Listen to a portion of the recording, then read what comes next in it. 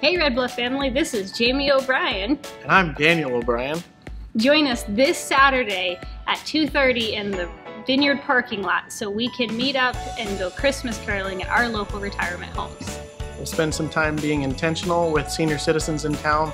We'll sing carols, and if somebody needs to talk and just wants to visit with you, great, let's do it and just bring some joy to our local seniors in town. And bring your kids. Hey Vineyard, Pastor Luke here. I wanted to let you know that this coming Sunday, December 15th, we are going to be gathering together for one service at 10 a.m. in order to spend some time blessing, praying for, and releasing Wes and Irene McLaughlin.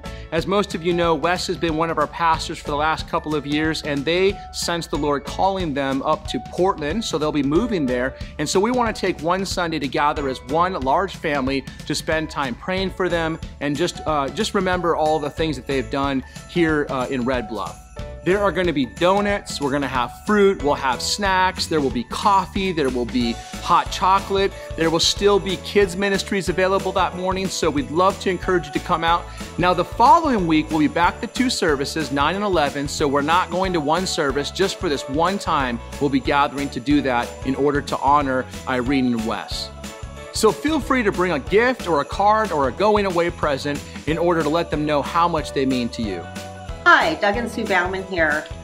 We'd like to invite you to our Christmas Eve services on December 24th at 6 and 7.15 p.m. It's a great way to kick off your Christmas Eve and to be able to invite friends and family to our event.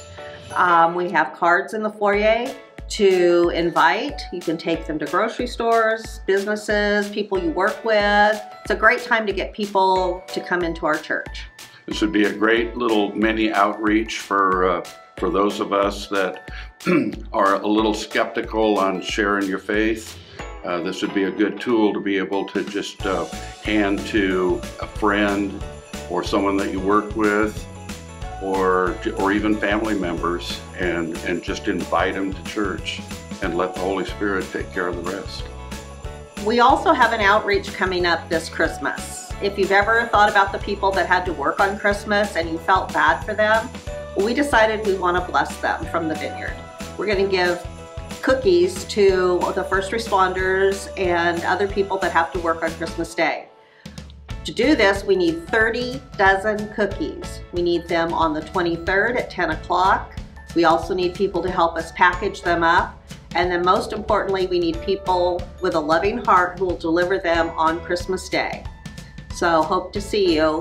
Um, you can fill out something on the Connect card and let me know what you plan to help with. We need lots of volunteers. Thank you. Join us this Saturday at the Red Bluff Vineyard, 2.30. We meet up.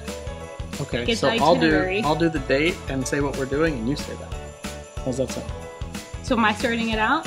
I don't care if you want to start it. I was just gonna say, hey, join us for caroling, December. Hey Red 14th. Bluff family, join us this Saturday at the Vineyard I think parking you've got this. 2.30. All right, and I'll say something. Go for it.